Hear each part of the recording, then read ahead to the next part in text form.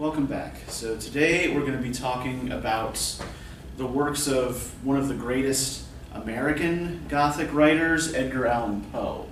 Um, and what we're going to be doing specifically is trying to connect some of the Gothic tropes in Poe's work to what will later develop um, in uh, what we now call weird fiction. Right, so we're going to be looking at four of Poe's works. Um, an essay called The Philosophy of Composition, which mostly attempts to describe his process in writing his most famous poem, The Raven, uh, which has often been called uh, the greatest bad poem in the history of American literature. We'll get to that in a moment. Um, we're going to be looking at another poem called The City in the Sea, uh, which on the one hand provides a really good example of certain tropes that will become common in the weird, but is also regarded as a direct influence on H.P. Lovecraft's Call of Cthulhu. Uh, and we'll be looking at two short stories. Most of the time we're going to be spending on The Fall of the House of Usher, which is probably the most classically gothic of Poe's tales. But we're also going to be looking briefly at The Masque of the Red Death, because in particular, the final encounter between Prince Prospero and his guests and the reveler representing the Red Death um, really do uh, really does uh, prefigure much of what's going to happen in the weird. So, let's start by talking a little bit about Poe's work. This is the man himself one Edgar Allan Poe. And I want to, I first want to focus on the various Gothic tropes that we're going to see, particularly in the short stories. First and foremost, haunted castles. Right? We talked last time about uh, the setting of a Gothic tale. It is often, you know, a haunted castle, a ruined abbey, um, some sort of imposing structure that is at the same time claustrophobic. So, the House of Usher, particularly in the way it mirrors the psychoses of its inhabitants, is a classic example of a Gothic haunted castle. Though it's also doing some things that are a little unusual. We'll get to that when we talk about the House of Usher. Prince Prospero's Abbey that he uses to escape from the possibility of contamination by the Red Death is another example of the haunted castle, right? The prince is unable to wall himself off in a conventional way from the disease that's raging outside of his little retreat. Paranoia in the characters, madness, we have Roderick Usher's hypersensitivity paired with his sister's um, almost near complete insensitivity. Right? We'll look at this a little more specifically when we start digging into the tale, right? But we notice that Usher himself um, is suffering from an over refinement of the senses, right? While his sister is nearly completely unresponsive to her environment. We also see this uh, Gothic paranoia in Prince Prospero's fear of disease and contamination. Right? He does not want to expose himself to the danger of disease presented by the Red Death, hence the walling of himself in the Abbey. Now, the power of a Gothic tale is very much predicated on the encounter of the protagonist with the uncanny. Now, we talked a little bit about the uncanny last time, um, but let's briefly review where the concept comes from and exactly what it means. Um, the term is first used, it's actually a translation from the German unheimlich, which means unhomely, right? That is sort of difficult to house, um, difficult to contained within your own conceptual framework. Um, it's used by Sigmund Freud in an essay called The Uncanny, 19, published 1919.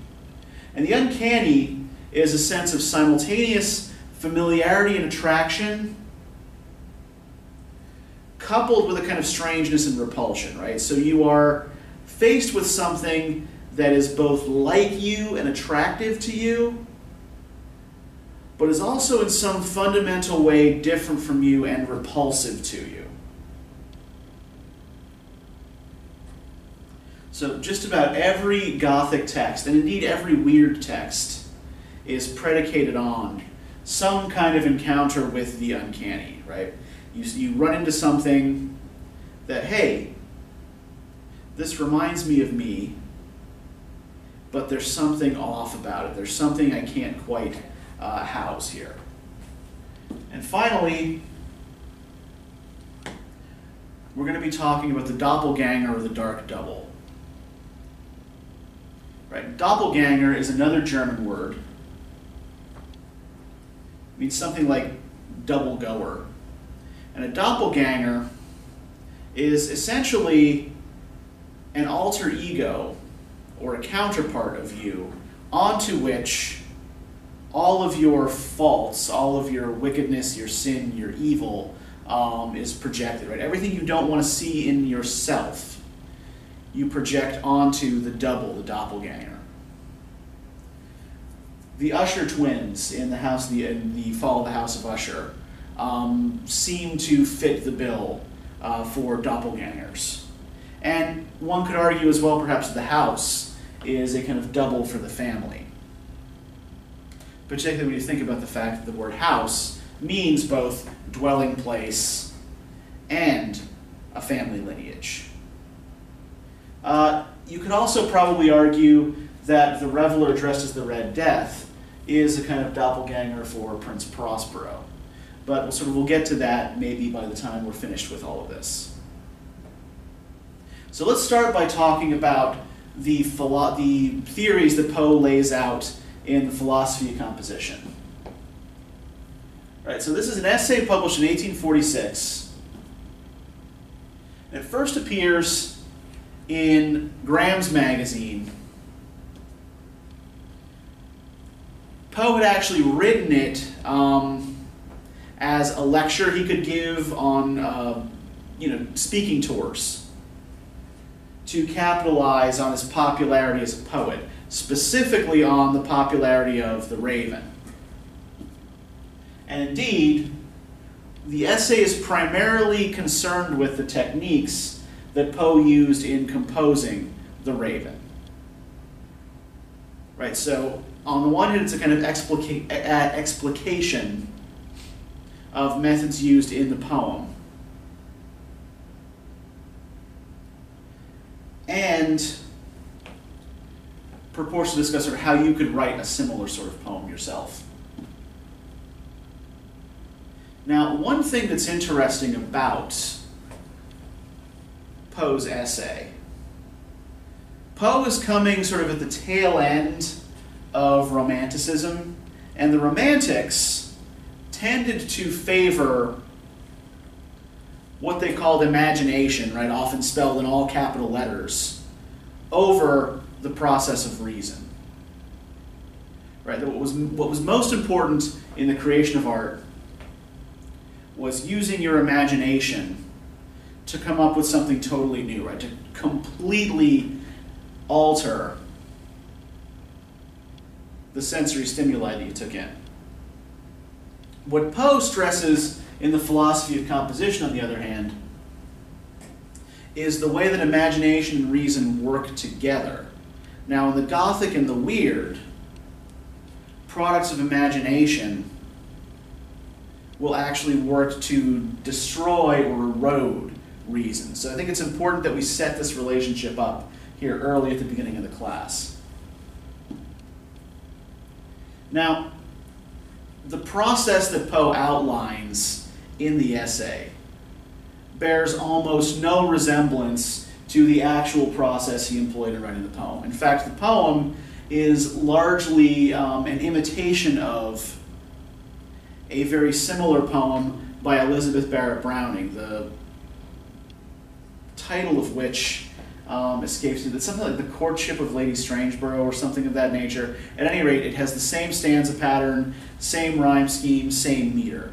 And what Poe is actually doing in The Raven is proving that he can write in that same formulaic meter.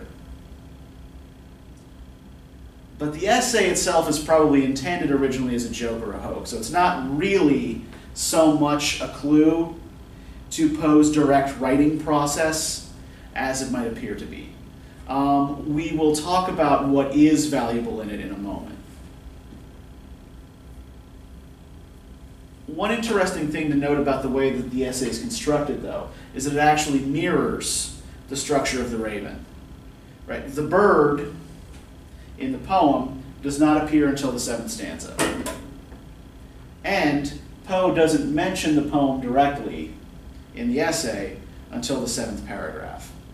So it's clear that the raven is very much on his mind here as he's writing, right? And here we have the friendly, smiling mascot for the Baltimore Ravens. Um, now, just a short tangent here. Um, I always get a little bit cheesed off about the association between Poe and Baltimore, right?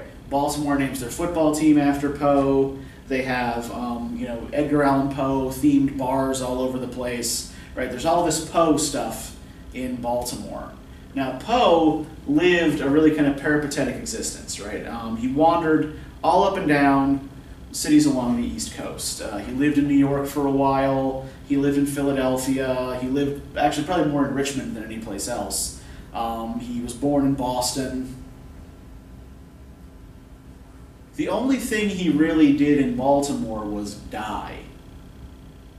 And because he died there, Baltimore gets to lay eternal claim to him. So, well, I guess good for you, Baltimore. End of rant, end of tangent.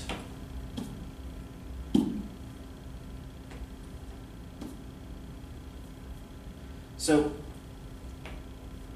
what we can extract from the philosophy of composition that has nothing to do with the techniques employed to write The Raven are some of Poe's thoughts on what makes an appropriate subject for a poem or a short tale. Right. One thing to note, right, is that he does say that a tale, like a, a good poem or a good tale, should be consumable in a single sitting. Right. So we're talking about kind of concentration of incident in both cases. As far as the subject is concerned, Poe writes, Beauty is the sole legitimate province of the poem. When indeed men speak of beauty, they mean precisely not a quality as is supposed, but an effect. They refer, in short, to that intense and pure elevation of soul, not of intellect or of heart, which is experienced in consequence of contemplating the beautiful. So we have here Poe figuring, prefiguring certain tendencies of aestheticism and decadence. Right? The idea that art is not meant to teach you anything, right? It's not supposed to make you smarter. It's not supposed to make you more moral. It's not supposed to make you a better person. What it is supposed to give you is this kind of transcendent experience of beauty, right? It elevates your consciousness for a moment as you contemplate it. But you're no smarter than you're no smarter after you've read the poem than you were before you read it. You're not a better person. It doesn't teach you anything, it doesn't reform your manners or morals, right? It exists solely to be beautiful. Now, Poe goes on to talk about fitting subjects for the beautiful, right? Regarding then beauty as my province, my next question referred to the tone of its highest manifestation. And all experience has shown that this tone is one of sadness. Beauty of whatever kind, in its supreme development, invariably excites the sensitive soul to tears. Melancholy is thus the most legitimate of all the poetical tones. Now, evocation of sadness may seem like rather a strange position for a writer who's best known for tales of horror and suspense uh, to be going for, right? But most of Poe's tales do involve a sense of the loss of something valuable. Freedom, a loved one, right? A cherished family name or heirloom, right? Now, I think we also need to think about what Poe means by melancholy, because this is also particularly important in the development of aestheticism and decadence. Now, melancholy isn't just ordinary sadness, right? It's not just, oh, I don't feel myself today. I feel a little bit teary eyed. Right? I saw something or read something that made me feel a little bit blue. Melancholy is a kind of all encompassing sadness. But it's not quite depression either. Because melancholy is aesthetically pleasurable all encompassing sadness. Right? When you're feeling melancholy, right, your limbs are languid, you cannot bring yourself to stir, but there's something beautiful and pleasurable about the whole thing, right? You are wallowing in a kind of exquisite sadness.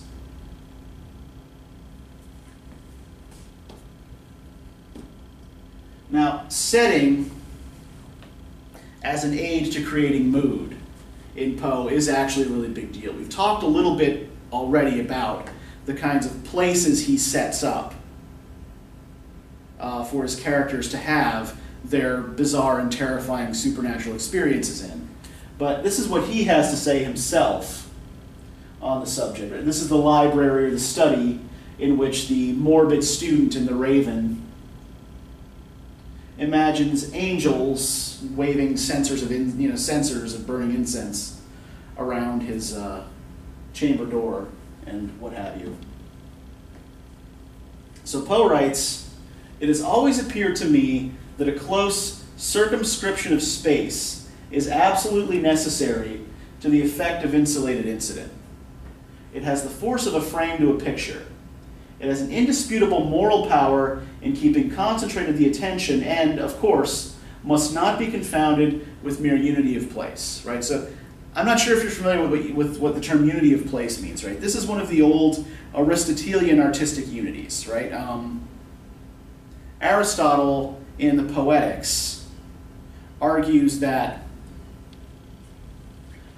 a good play should take place, or should focus on one single line of action. Right? He calls this simply unity of action. Now, later writers, particularly in France in the 17th and 18th centuries, will derive further ideas of unity from Aristotle. Unity of time, that the action in a play should take place within a 24 hour period, and unity of place, that all of the action in the play, story, poem, what have you, should take place in a single location. Now, Poe is arguing that just having the tale take place in a single location isn't enough to create the kind of powerful effect he's going for, right? It has to be in a closely circumscribed, that is, an enclosed, small, claustrophobic space, say a single chamber a walled off abbey, a crumbling old house. Oh, wow, that just set the mood beautifully. I, I hope you heard that thunder. Um, I'm looking forward to going back outside now. Right, so, where was I? Um, so, yeah, so claustrophobia is an important element in creating the proper Gothic atmosphere.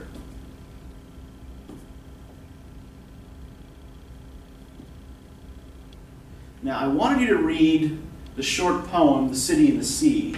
Um, this is actually written quite a bit before the philosophy of composition. It first appears in 1831. And it was originally entitled The Doomed City,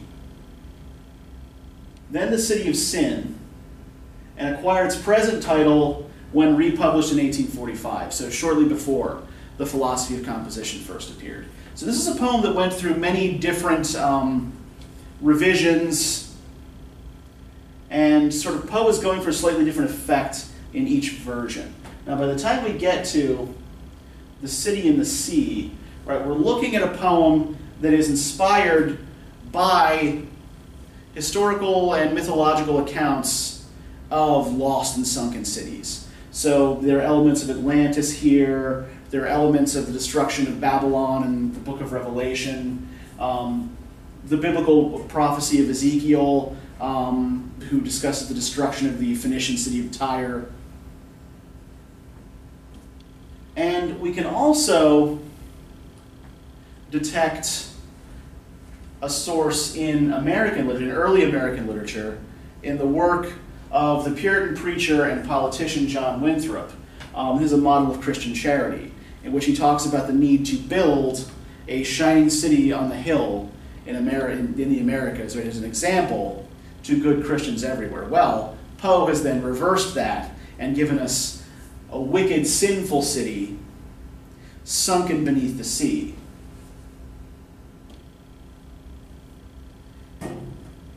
This poem is also part of a vogue for what was called Orientalism in the late 18th and 19th centuries. So let me talk a little bit about what I mean by that. Some of you might already be familiar with this term.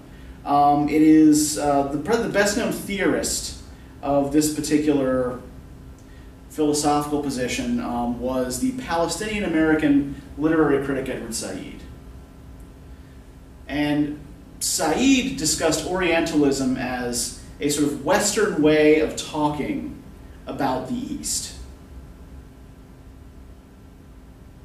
that tended to frame the East or the Orient in terms that made it sort of alien or other to the West. So, if you're looking, for example, at the way a 19th century Englishman, right, at the height of the empire, describes himself. Right? Well, I'm an Englishman. I'm hardworking, I'm chaste, and I'm temperate. So he looks then maybe at someone from India or from the Arabian Peninsula, North Africa, China, Japan, and he thinks, all right, if I have these qualities in myself, then these foreign people, these alien people, must have the opposite qualities. So if I'm hardworking, they're lazy. If I'm temperate, they are easily tempted. If I'm chaste, they're promiscuous. Now, this also turns the East as kind of exotic other to the West into a kind of consumable good, right? Something that Westerners can latch onto and take home for themselves, right? I'll give you an example of this. This painting by the French artist Eugene Delacroix. It's called The Death of Sardanapalus. And what it is, is a depiction of um, a tale of an ancient Assyrian king by the name of Sardanapalus who saw his enemies approaching his city and knew that there was no way he was going to defeat them in battle. The city was doomed. So, he encouraged his people to essentially have one giant, massive blowout party slash orgy all across Nineveh while they waited for the death blow to fall. Now, this is typical of the way Westerners have since depicted Easterners, right? We see in this painting, right, the king is just lounging languidly on his bed. He has his hand on his crown. He's watching all of the debauchery unfold around him, right? There are half naked women lying about, men chasing after them, men killing them, right? This mixture of kind of sex and death.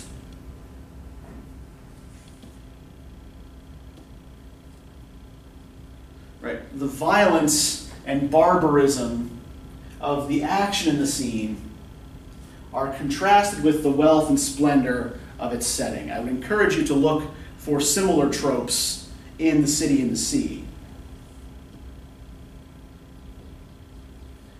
We can see that the state of civilization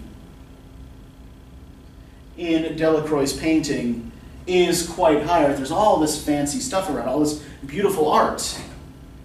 But coupled with that advanced state of civilization is a complete indifference to human suffering. Right? Sardanapalus is lying on his bed. There's a dead woman lying across the foot of it. There's another woman being stabbed to death right in front of him here. And it doesn't affect him. He doesn't care. Right? Civilization advances to the point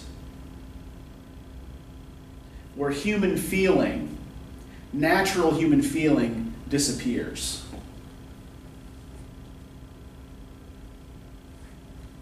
The city in the poem, as in this painting, is also presented as something that is uncanny, right? Poe uses the line, it resembles nothing that is ours, right? We know what a city is. We know what a city is supposed to look like. But there is something in the poem, there's something about the city in the poem, right, that does not quite resemble our conception of what a city is or what a city is supposed to be. And finally, the city in the poem has reached its end point, right?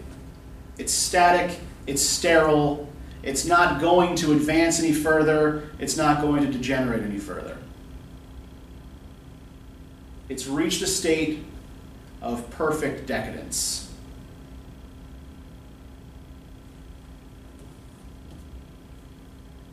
Now, I'd like to move from the city and the sea to consideration of the two tales that I asked you to read. So let's start with The Fall of the House of Usher, which in particular focuses on the inhabitants of a seemingly sentient house. Right? There's a depiction of the house, and we see the way the artist has drawn it. It looks almost as though there's a face on the front of it. We can see that in the way the narrator, Roderick Usher's nameless childhood friend, refers to the city when he first arrives. Right? I looked upon the scene before me, upon the mere house and the simple landscape features of the domain, upon the bleak walls, upon the vacant eye like windows, upon a few rank sedges, and upon a few white trunks of decayed trees, with an utter depression of soul which I can compare to no earthly sensation than to the after dream of the reveler upon opium, the bitter lapse into everyday life, the hideous dropping of the veil. So, first thing to note here the human like terms in which the house is described. Right? This isn't the only place um, in the story in which the house is described almost as though it's alive or as though it's a person, but um, it's sort of one of the first prominent examples, right? So the vacant eye-like windows, right, as though the house is watching. And the whole atmosphere created here is oppressive. Bleak walls, rank sedges, white trunks of decayed trees, and the impression that the whole scene gives to the narrator is of coming down from a drug high, right? Coming down from a high on opium. So, been flying high above the clouds, and now I come back down to earth, and this is the bleak oppressive reality that I'm faced with. And that's one thing to remember in a Gothic text. When always pay very close attention to setting, to location. Right? Place is intended to be oppressive. It's intended to make you feel closed in, trapped. That's what the house is doing.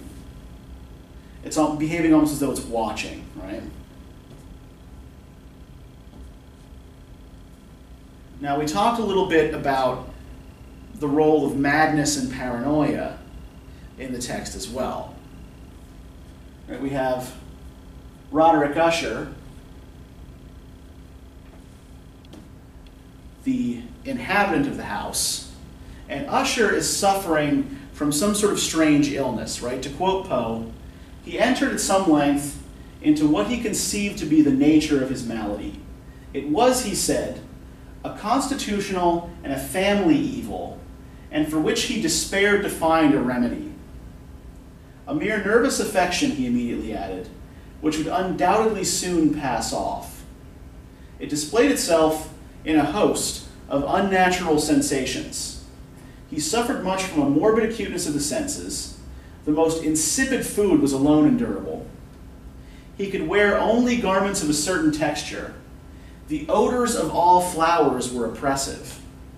His eyes were tortured by even a faint light. And there were but peculiar sounds, and these from stringed instruments, which did not inspire him with horror.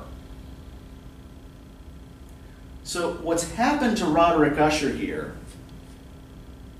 is that his senses have become so refined and so intense that he cannot handle sensory input of, a nor- of even a normal magnitude, right? And we know also that he's a poet, he's a musician.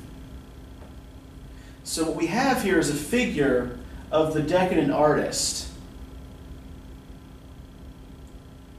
who is no longer able to enjoy, to take any pleasure in the sensory impressions that he has cultivated and refined over time.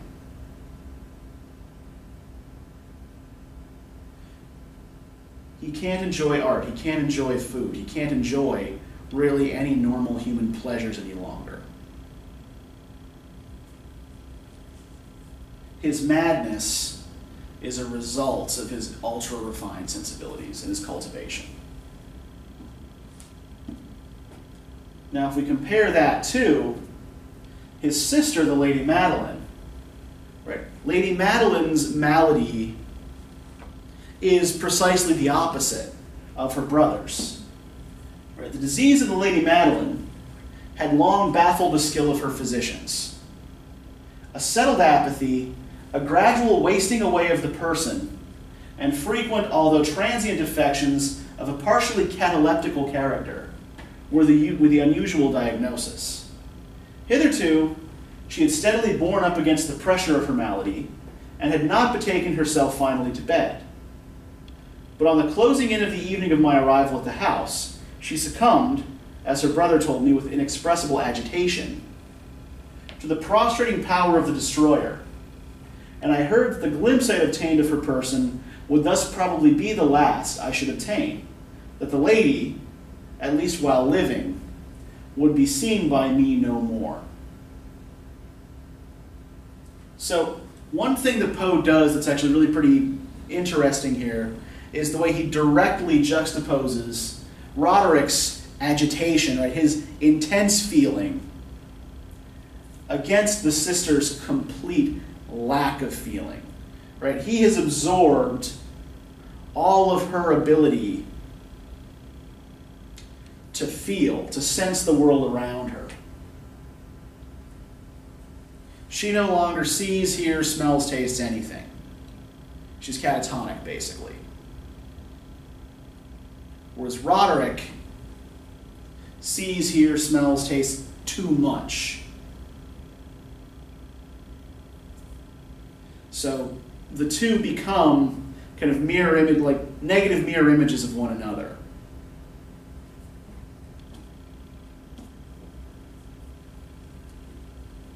Now, to talk here about the shock of the uncanny, right? That moment of attraction and repulsion, of recognition and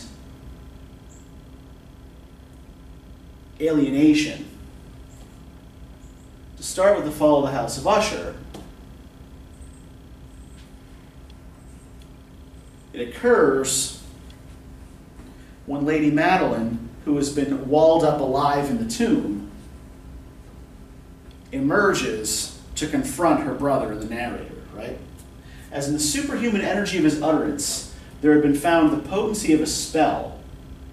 The huge antique panels to which the speaker pointed threw slowly back, upon the instant, their ponderous and ebony jaws. It was the work of the rushing gust. But then without those doors, there did stand the lofty and shrouded figure of the Lady Madeline of Usher. There was blood on her white robes, and the evidence of some bitter struggle upon every portion of her emaciated frame. For a moment, she remained trembling and reeling to and fro upon the threshold.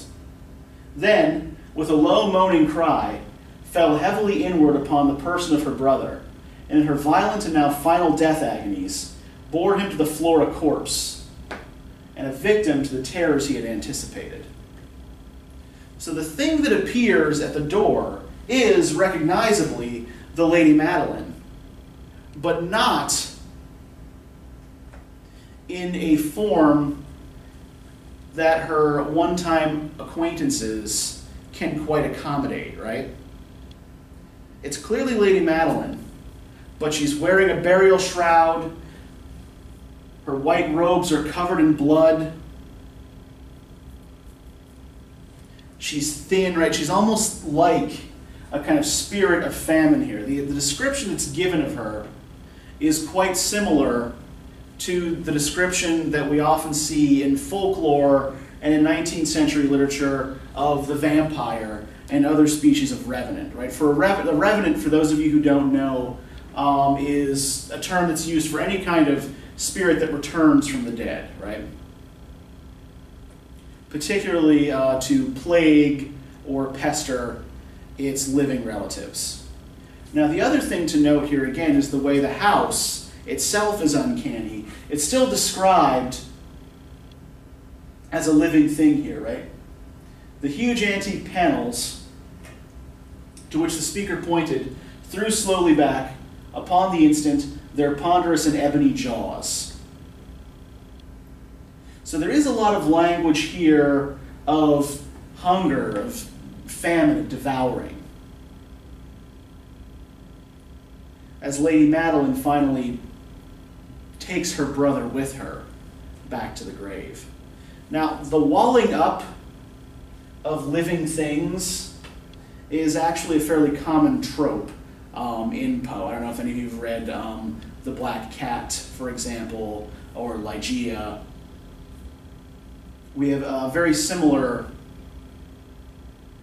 themes uh, across several of these works. And that's an image of Lady Madeline, fresh from the grave, forcing her way back into the house. Now, we're not going to spend nearly as much time here in the Masque of the Red Death, um, but I do want to point to the uncanny moment in that text as well, right? This particular text is largely concerned with Prince Prospero's fear of contamination. And the fear of loss of identity, the fear of loss of one's own personhood, is a fairly common trope in Gothic texts. So the way it's expressed in this particular text, right, is fear of disease, right? That the Red Death comes and essentially disintegrates the person. The, one's personal integrity is violated. And I'm not talking integrity like reputation, I'm talking integrity like, you know, the very structure of your body is violated by the intrusion of the Red Death. So, at the very end of the tale, then, summoning the wild courage of despair, a throng of the revelers at once threw themselves into the black apartment where this reveler who was dared to dress as the Red Death has appeared. And seizing the mummer, whose tall figure stood erect and motionless within the shadow of the ebony clock, gasped in unutterable horror at finding the grave cerements and corpse like mask, which they handled with so violent a rudeness, untenanted by any tangible form. So, what looks like a human being in a costume, when they tear the costume away, has nothing underneath it. Right? This both attractive and repellent figure, without the costume, completely vanishes. And that's when the revelers all start dropping dead from the Red Death.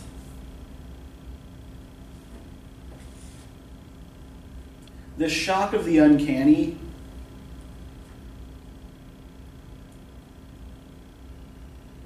the madness that results from it, the extreme emotional and intellectual reaction, the way it unhinges the reason. This is going to be a major theme when we get to the actual early 20th century weird. So I want you to keep all of this in mind as you continue to read. And I have some reading questions for you uh, for next time as well. We're going to be looking at two texts by Washington Irving uh, taken from a longer work called The Sketchbook. You're going to be looking at The Legend of Sleepy Hollow, which is probably Irving's most famous work, and it's a lot less cartoony than you're likely going to expect it to be. And also a short piece called The Mutability of Literature. So first, I want you to you know read the mutability, the mutability of literature first. It's a much more minor piece, um, but thematically it works quite well with a lot of the things we're talking about. I want you to pay attention to a kind of absurd conversation that Irving has, or that Irving's narrator anyway, has with a book in that text. And I want you to think about which aspects of the Gothic this essay seems to adopt and critique. Now, when you get to the legend of Sleepy Hollow, I also want you to pay attention to the way Ichabod Crane interacts with the world around him, right? What seems to be his primary response to any kind of external stimulus? And why does it say in the text that he has the dilating powers of an anaconda? What does this tell us about him? Third, think about the setting of the legend of Sleepy Hollow, which is rural. It's a small village rather than a haunted castle. And I want you to think about how it reflects Gothic literary values despite not having that sort of castle at its centerpiece. And finally, I want you to look at Irving's writing style and compare it to Poe's. How clear is it?